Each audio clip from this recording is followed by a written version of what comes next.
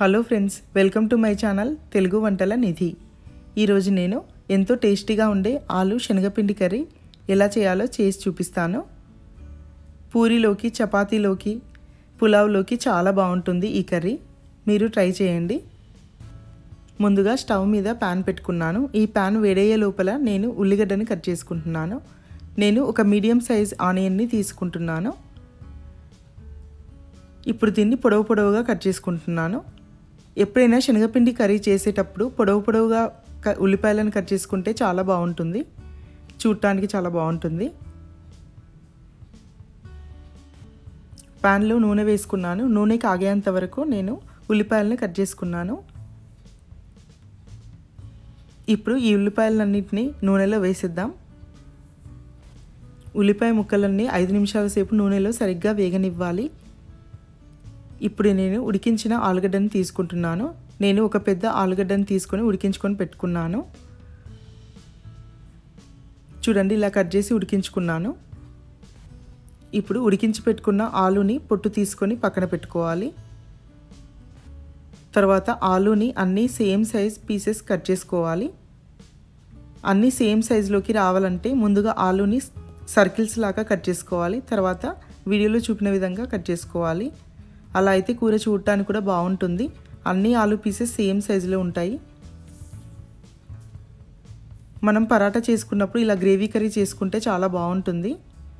మీరు పూరీలోకి కూడా చేసుకోవచ్చు. మొత్తం ఆలుని పీసెస్ చేసిన తర్వాత మనం నూనెలో వేయించుకోవాలి. ఇప్పుడు చూడండి పూర్తిగా ఉల్లిగడ్డలు ఆయిల్లో వేగిపోయాయి.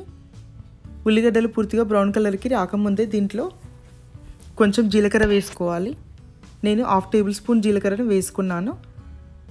తర్వాత కొన్ని ఆవాలు కొంచెం ఇంగువ వేసుకున్నాను. తర్వాత కొంచెం పసుపు వేసుకోవాలి. ఇలా జీలకర్ర ఆవాలు పసుపు నూనెలో సరిగ్గా వేగిపోవాలి. తర్వాత మనం ఆలుగడ్డ ముక్కల్ని దీంట్లో యాడ్ చేసుకోవాలి. పోపులో ఇంగువ వేసుకోకుండా పర్వాలేదు. మీకు నచ్చితే వేసుకోవచ్చు. లేదంటే అల్లం వెల్లుల్లి పేస్ట్ వేసినా బాగానే ఉంటుంది.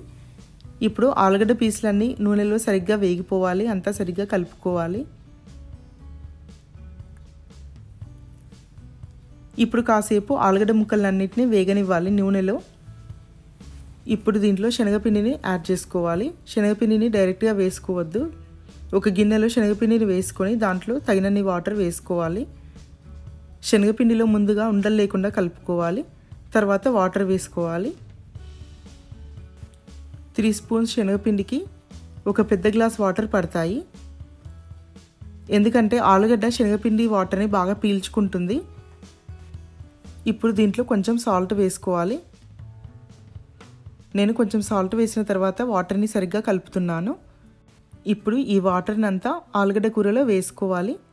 చూడండి ఆలుగడ్డ నూనెలో సరిగ్గా వేగిపోయింది. ఇప్పుడు దీంట్లో వాటర్ని వేసుకుందాము. లాస్ట్కి కొంచెం శనగపిండి ఉంది కదా నేను దాంట్లో కూడా వాటర్ వేసుకొని పూర్తిగా దీంట్లో వేసుకున్నాను.